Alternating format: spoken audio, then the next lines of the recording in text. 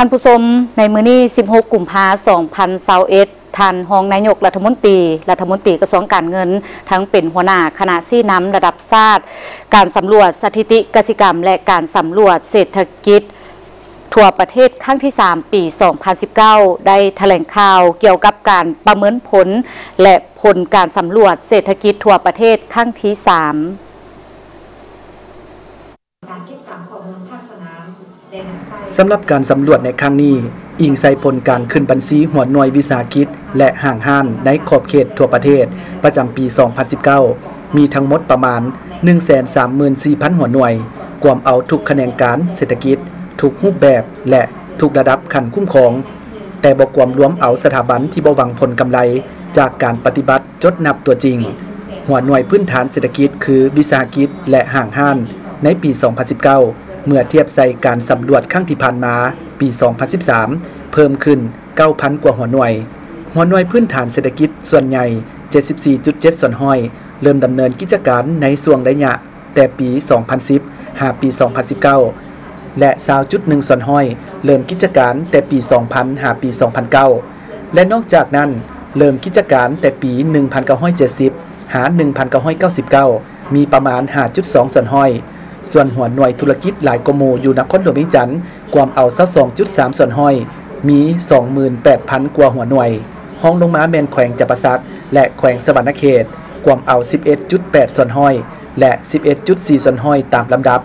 แขวงที่มีหัวหน่วยพื้นฐานเศรษฐกิจหน่อยกว่าหมู่แมนแขวงเซสมบูรณ์ 1,000 กว่าหัวหน่วย ด้านขนาดและคงเขตแขนงผลิต หรือการเคลื่อนไหวของบรรดาหัวหน่วยพื้นฐานเศรษฐกิจในทั่วประเทศ ส่วนใหญ่ แมนจุลวิสาหกิจกวามเอา 94.2 ส่วนห้อย มีจำนวน 120,000 กว่าหัวหน่วยห้องลงมาแมนวิสาหกิจขนาดน้อย มี 6,600 หัวหน่วย ส่วนวิสาหกิจขนาดกลางและขนาดใหญ่ มี 954 หัวหน่วย และ 271 หัวหน่วย วิสาหกิจหลายกมูแมนเคลื่อนไหวในแขนงการค้ากวามเอา 63.8 ส่วนห้อยห้องลงมาแมนการบริการ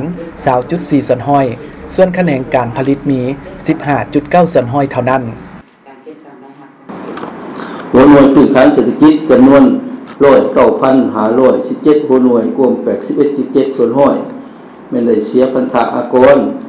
ในนั้นเก้าสิบจุดหาส่วนห้อยมันเสียอากรประจำวันมันเสียรายวันหรือว่ากี่ปีกี่ปีหกจุดแปดส่วนห้อยมันเสียตามสัญญา ลักษณะหมอกเมาและคือสิเมนต ตามสัญญา และมีเพียงสามส่วนห้อย ที่เสียผ่านระบบบัญชีมีแต่สามส่วนห้อยเท่านั้น อัตราส่วนห้อยอาอากรทั้งหมดในปี 2018 ตัวเลขปี 2018 มี 68.9ส่วนห้อย มันมาจากวิสาหกิจขนาดใหญ่68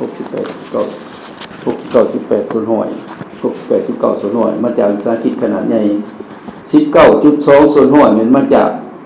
สาหกิจขนาดกลางเลยสิบเอ็ดจุดแปดส่วนหน่วยมันมาจากสาหกิจขนาดหน่อยและจุลอุตสาหกิจหกแรงงานและการประกันสังคม จากผลการสำรวจได้แสดงเห็นว่าในจำนวนร้อยสามสิบสามพันเก้าร้อยเก้าสิบเจ็ดหัวหน่วยมันมีแห่งงานทั้งหมดสี่ร้อยเก้าสิบพันสามร้อยเจ็ดสิบสามคน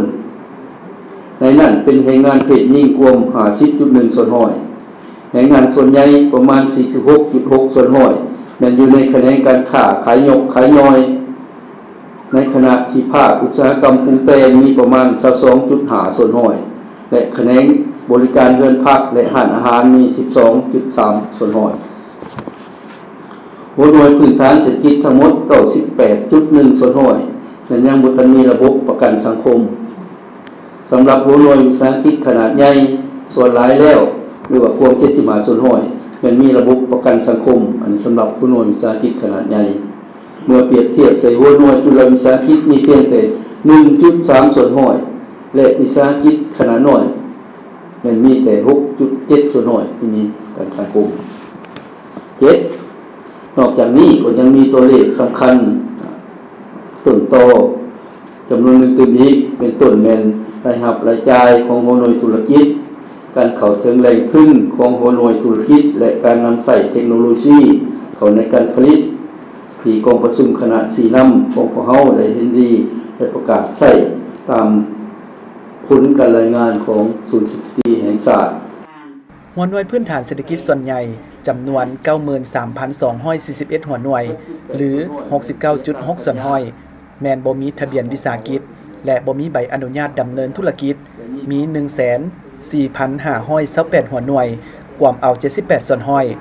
สำหรับหัวหน่วยที่มีใบทะเบียนวิสาหกิจในจำนวน 4756หัวหน่วย มี 4,095 หัวหน่วย หรือ 10 ส่วนห้อย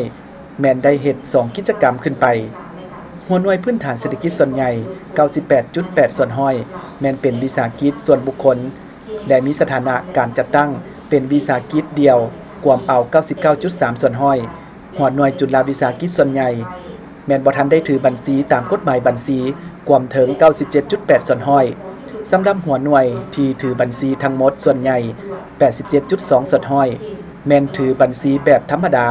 และ 12.7 ส่วนห้อย แมนถือบัญชีขยายตัว การสำรวจสถิติกสิกรรม และการสำรวจเศรษฐกิจทั่วประเทศครั้งที่ 3 ปี 2019 เป็นการผลิตข้อมูลข่าวสารที่จำเป็นสำหรับการสร้างแผนนโยบาย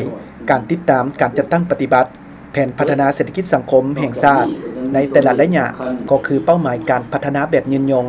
ซึ่งผลได้รับจากการสำรวจครั้งนี้ จะเป็นบอนอิงที่สำคัญให้แก่การติดตาม และประเมินขาดตัวการจัดตั้งปฏิบัติ แผนพัฒนาเศรษฐกิจสังคมแห่งชาติครั้งที่ 8 การวางแผนการ5ปีครั้งที่ 9 และเป้าหมายการพัฒนาแบบยืนยง